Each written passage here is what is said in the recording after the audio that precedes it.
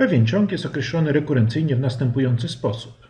an równe an minus 1 razy an minus 2, gdzie a0 równe 2 oraz a1 równe 3 i mamy znaleźć a4.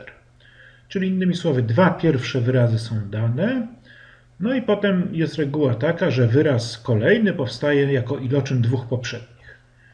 No i mamy znaleźć A4, czyli ten ciąg jest zadany rekurencyjnie, wobec tego, żeby znaleźć A4 musimy znaleźć wcześniej, no zobaczmy co. Więc ja to sobie przekopiowałem, czyli interesuje nas A4.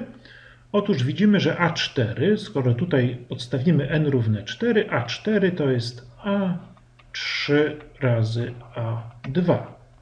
No dobrze, a 3 razy a2. No nie mamy ani a3, ani a2. To teraz pytanie, czy potrafimy, chcemy znaleźć, czyli musimy znaleźć a3. Wobec tego a3 to jest, patrzymy tutaj a3, to jest a2 razy a1.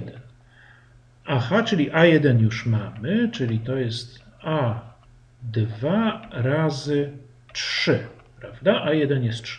No ale jeszcze nie mamy A2, czyli wobec tego musimy policzyć A2, czyli A2. A2 to jest, no wedle naszej reguły, A1 razy A0. Aha, i teraz A1 i A0 mamy, czyli to jest A1 to jest 3 y, i A2 to jest 2, czyli to jest 3 razy 2, czyli 6. Aha, dobrze, czyli A2 to jest 6, czyli pomożemy już obliczyć A3. Czyli A3 to jest 6, prawda? A2 razy 3.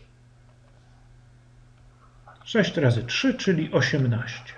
No dobrze, czyli A3 jest 18. Wobec tego w tym wzorze możemy tak za A3 podstawić 18 i A2 wcześniej policzyliśmy razy 6, czyli A2 to jest 6. Wobec tego A4 to jest 18 razy 6. No ile jest 18 razy 6? Czyli to jest 10 plus 8 razy 6. Wobec tego to jest 60 plus 48, czyli 108. Wobec tego A4 jest 108. No to teraz sprawdźmy. Tak, 108. I sprawdzamy. Wspaniale. No i jak zwykle zachęcam Was do zbierania punktów i samodzielnego rozwiązywania zadań na naszym portalu.